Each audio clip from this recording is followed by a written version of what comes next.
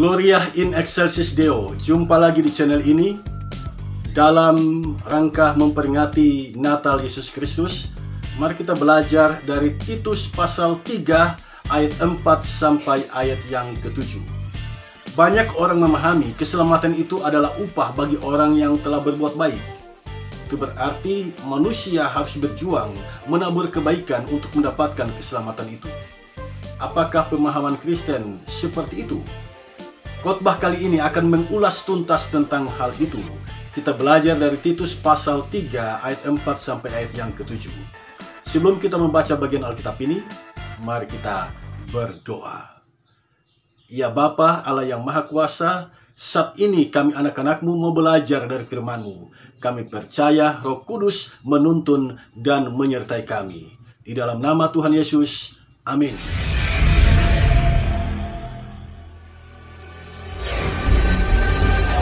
Sekarang mari kita baca Titus pasal 3 ayat 4 sampai ayat yang ke-7. Demikian bunyinya. Tetapi ketika nyata kemurahan Allah juru selamat kita dan kasihnya kepada manusia, pada waktu itu dia telah menyelamatkan kita, bukan karena perbuatan baik yang telah kita lakukan, tetapi karena rahmatnya oleh permandian kelahiran kembali dan oleh pembaharuan yang dikerjakan oleh roh kudus, yang sudah dilimpahkannya kepada kita oleh Yesus Kristus Juru Selamat kita, supaya kita sebagai orang yang dibenarkan oleh kasih karunia-Nya berhak menerima hidup yang kekal sesuai dengan pengharapan kita. Saudara yang dikasih Tuhan, cara Allah bekerja itu di luar perkiraan dan perhitungan logika manusia. Bagi manusia, sesuatu yang berharga itu itu diberikan sebagai penghargaan bagi orang yang telah berbuat baik. Semakin banyak kebaikan yang ditabur oleh orang tersebut, semakin banyak penghargaan yang dia terima. Logika ini pun menjiwai ajaran agama pada umumnya. Keselamatan itu merupakan buah perjuangan orang baik. Keselamatan itu adalah upah bagi mereka yang telah berbuat baik. Sebaliknya, yang tidak berbuat baik mendapat hukuman. Neraka sering disebut-sebut sebagai hukuman bagi orang yang tidak berbuat baik. Nah, saudara sekalian, bagian Alkitab yang kita baca saat ini menolak pemahaman yang sedemikian ini kita pasti terkejut. Mengapa begitu? Mengapa Alkitab menolak pemahaman yang sebenarnya kalau kita simak sejenak, kita renungkan sejenak, ini masuk akal juga. Tapi ternyata Alkitab menolak dengan tegas pemahaman bahwa keselamatan itu adalah upah yang disediakan bagi orang yang berbuat baik. Nah, ini menarik saudara sekalian. Mari kita belajar bersama dari bagian Alkitab ini di dalam menghayati dan memaknai Natal Yesus Kristus. Di dalam Alkitab ternyata keselamatan itu adalah kasih karunia Allah. Pemberian cuma-cuma dari Allah. Hadiah istimewa dari Allah. Itu keselamatan. Kasih karunia Allah itu adalah Yesus Kristus. Dia hadir melepaskan belenggu Taurat yang menindas manusia. Kebaikan tidak lagi menjadi jaminan untuk masuk surga. Tuhan Yesus hanya minta satu hal, percaya saja kepadanya. Itu yang diminta oleh Tuhan Yesus.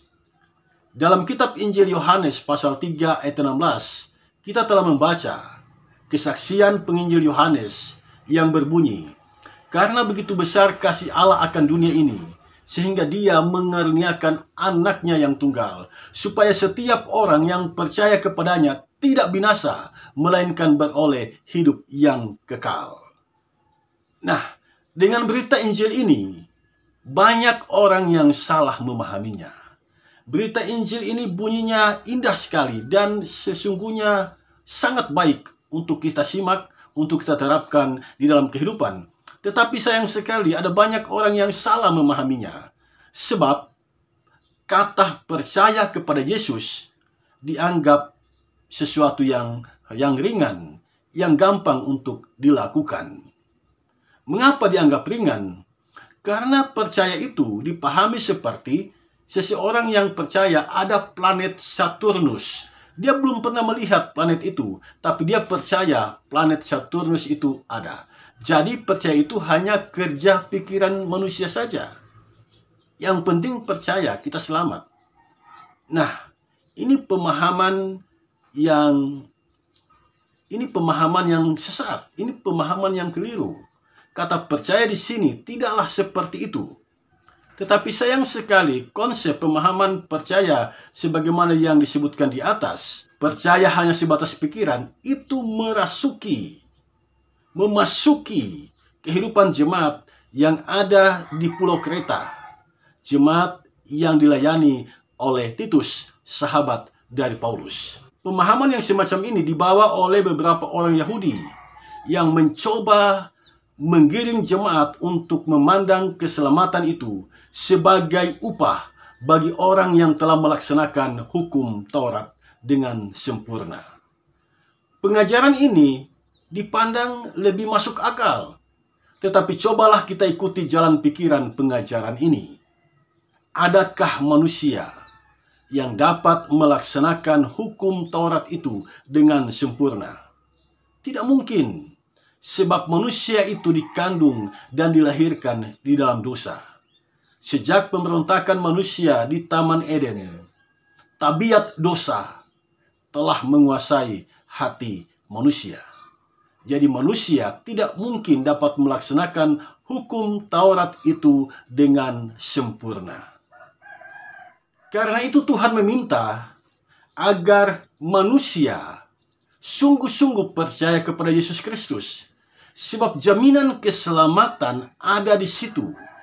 Sekali lagi saya mau katakan, jaminan keselamatan ada di situ. Ketika manusia sungguh-sungguh percaya kepada Yesus, dia pasti beroleh jaminan keselamatan. Tetapi bukan berarti percaya itu gampang, sebagaimana yang telah dijelaskan di atas. Percaya itu membutuhkan komitmen.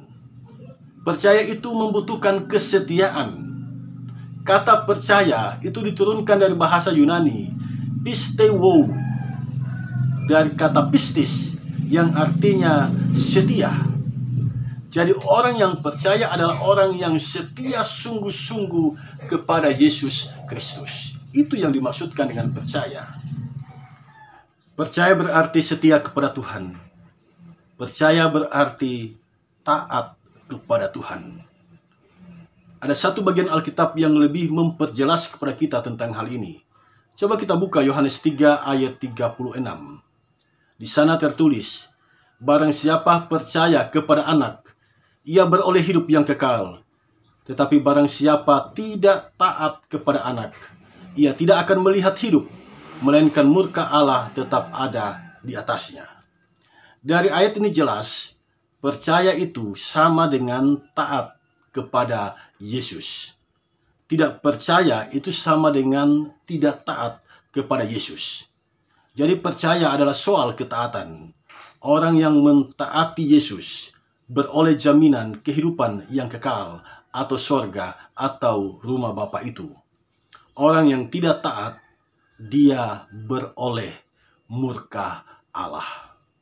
Dari sini kita mengerti kalimat dalam Titus pasal 3 Titus pasal 3 ayat yang ketujuh, bahwa kita adalah orang-orang yang telah dibenarkan oleh kasih karunia-Nya. Subjek keselamatan adalah Allah. Manusia adalah objek keselamatan. Keselamatan itu sudah terjadi dan diberikan oleh Yesus Kristus. Dia datang menjumpai manusia dan mereka yang percaya kepadanya, percaya sungguh-sungguh kepadanya, mereka beroleh kepastian, jaminan, keselamatan. Sekali lagi, keselamatan itu soal ketaatan. Selama kita percaya, atau dalam bahasa sederhana, selama kita taat kepada Yesus Kristus Tuhan kita, selama itu kita berada dalam jaminan keselamatan. Saat kita memilih tidak taat, murka Allah ada di atas kita. Saudara sekalian, saya pernah membaca sebuah ilustrasi. Penjelasannya begini. Keselamatan itu, itu ibarat piala dalam dunia tinju atau sabuk dalam dunia tinju. Kita bukanlah orang yang maju mau merebut piala itu. Kita adalah orang yang mempertahankan piala itu. Pada satu sisi ini logikanya benar, tetapi bisa juga berbahaya keselamatan itu seolah masih dalam bingkai upaya manusia. Masih dalam bingkai upaya manusia untuk merebut atau mempertahankan. Padahal keselamatan itu sederhana. Keselamatan itu adalah kasih karunia Allah. Keselamatan itu adalah pemberian Allah. Keselamatan itu adalah kado istimewa dari Allah. Tidak ada sedikit pun andil manusia dalam proses itu kita adalah orang-orang yang telah dibenarkan oleh Allah ketika kita sungguh-sungguh percaya kepadanya. Ketika kita berkomitmen mentaatinya. Memang ini bukan hal yang mudah. Tetapi ketika kita percaya, Roh Kudus akan menolong kita dan meneguhkan iman kita. Jadi, keselamatan itu bukan buah pekerjaan kita Keselamatan itu adalah buah pekerjaan Roh Kudus. Roh Kuduslah yang menolong kita mentaati Yesus Kristus Tuhan kita. Roh Kuduslah yang memberikan kemampuan kepada kita untuk tetap bertahan taat kepada Yesus sekalipun penderitaan menimpa diri kita. Sekarang kita berada di masa raya Natal Yesus Kristus para malaikat di sorga telah datang menyampaikan bahwa ini adalah berita kesukaan besar bagi seluruh bangsa. Sebab Yesus datang sebagai Mesias, Yesus datang sebagai Juru Selamat, Yesus datang sebagai Allah yang mau menyelamatkan kita. Peristiwa Natal adalah peristiwa besar. Allah mengasihi kita. Allah datang berkunjung menjumpai kita manusia ciptaannya dan Allah berkarya di dalamnya menyelamatkan kita melalui Yesus Kristus Tuhan kita. Itulah kasih Allah. Dari sorga dia datang menjumpai manusia. Saya mau katakan ini peristiwa yang mahal sekali harganya. Inilah kasih Allah yang luar biasa. Kita dibenarkan ketika kita percaya kepada Yesus Kristus Tuhan kita. Peliharalah kepercayaan itu. Peliharalah ketaatan itu. Mari kita bertekun di dalamnya. Taatlah sampai akhir hidupmu. Orang yang bertahan dan bertekun dalam ketaatannya kepada Yesus Kristus Tuhan kita. Dialah yang pantas, dialah yang layak memasuki rumah Bapa, memasuki sorga yang kekal itu. Selamat Hari Natal Tuhan Yesus memberkati kita.